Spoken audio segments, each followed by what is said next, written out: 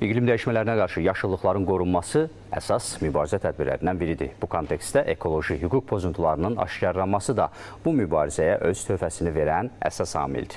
Mövzu ilə bağlı beynəlxalq mütəxəssislərin və rəsmilərin iştirakı ilə Şəkidə elmi-praktiki konfrans təşkil olunub.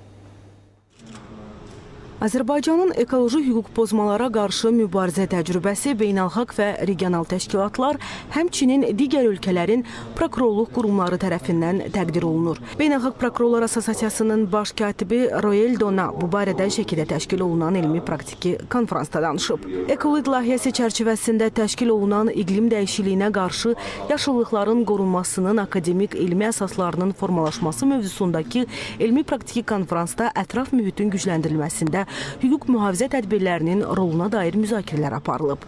Baş prokuror Kamran Əliyev bu kontekstdə, o cümlədən respublikamızda ekoloji problemlərin həlli, ekoloji mühitin sağlamlaşdırılması istiqamətində görülən işlərdən və beynəlxalq miqyasda qlobal iqlim dəyişikliyinə qarşı birgə mübarizədə Azərbaycanın yerindən bəhs edib.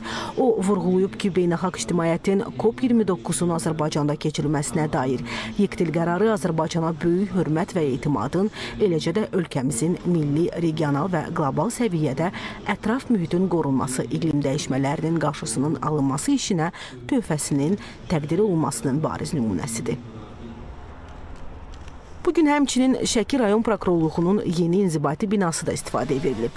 Bu yeniliyin kompleks islahatlar və sağlam iş mühitinin formalaşdırılması məqsədi ilə görülən məqsəd yönlü tədbirlərin bir hissəsi olduğu diqqətə çatdırılıb. İki mərtəbəli yeni inzibati bina müasir arxitektura stilistikasında inşa edilib. Ən yeni texnika və rəqəmsal informasiya sistemləri ilə təchiz olunub. Belə ki, prokurorluğun bütün fəaliyyət istiqamətlərini bir vahid elektron platformada birləşdirən elektron prokurorluq informasiya kommunikasiya sisteminin quraşdırılması təmin edilib.